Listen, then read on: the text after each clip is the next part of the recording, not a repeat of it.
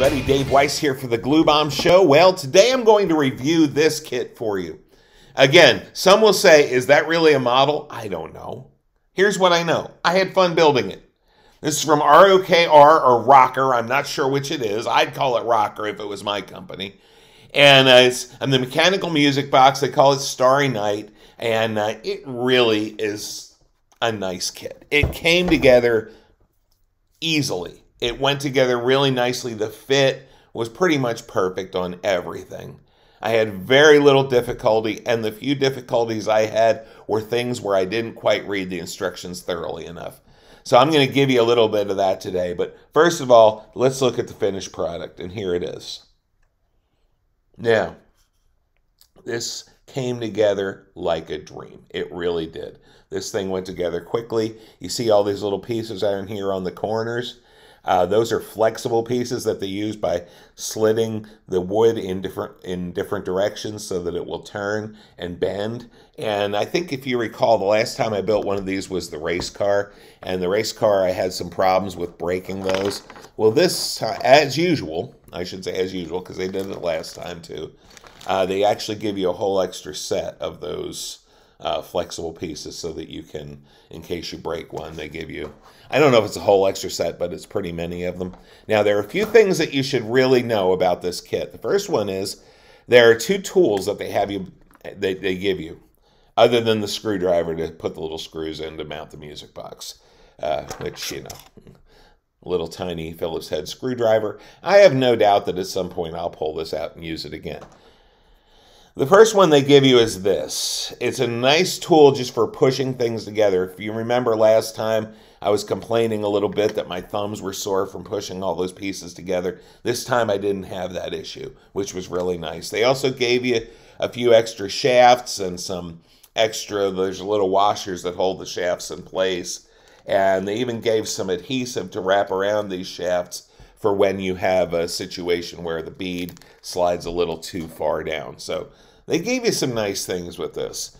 Uh, this is the tool that you need the most. They actually have you construct this, and I didn't realize that it was a tool at first. I thought it was going to be some kind of internal part or something, but no, it's actually a tool, and it's a good tool.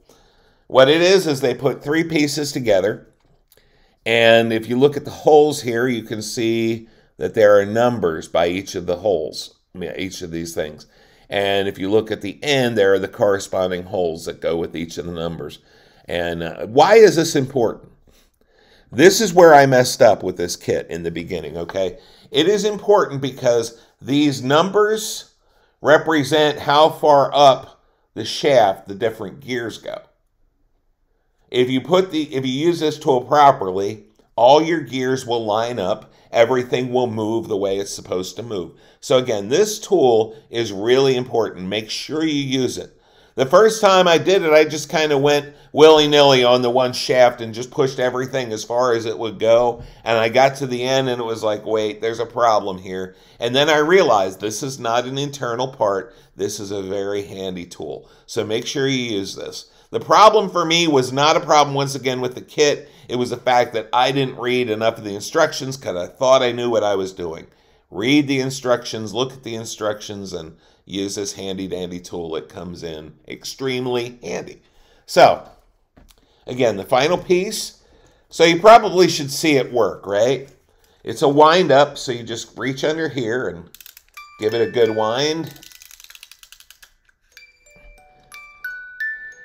And as you can probably see, all the planets move around. Plays the song Memory from Cats, which, you know, you may not may or may not be into that, but it's kind of a cool song for this particular piece.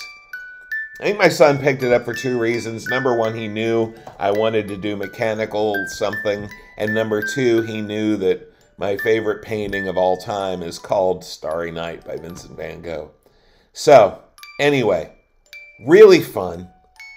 I got this on to my table because, frankly, I was in a place this week where I was a little busy to do all the messing work of making painting details, and I was ready to do detail painting on the B17. I just didn't quite have time to dig into all that. So I thought I'll just sit down, put a couple of these pieces together while I'm sitting at the dinner table. And before long, I was so into it that I finished it. So, anyway, there are times in our lives where we don't have time to do everything that we want to do. We don't have time to make the big mess. Maybe you're going on vacation or something like that. Something like this would really be fun for one of those rainy days when you can't get out or do whatever you're wanting to do. Just sit down and put one of these together. They're a blast. They're fairly inexpensive and they're really good. All right, that's all I got for you today. Remember, model building is supposed to be fun. This one was fun. If you're looking for something like this, pick it up.